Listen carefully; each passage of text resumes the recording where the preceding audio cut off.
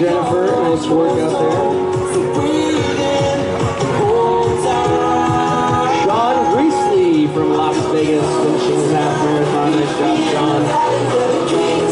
We got Wesley coming through the line as well. Nice work, nice work, looking good.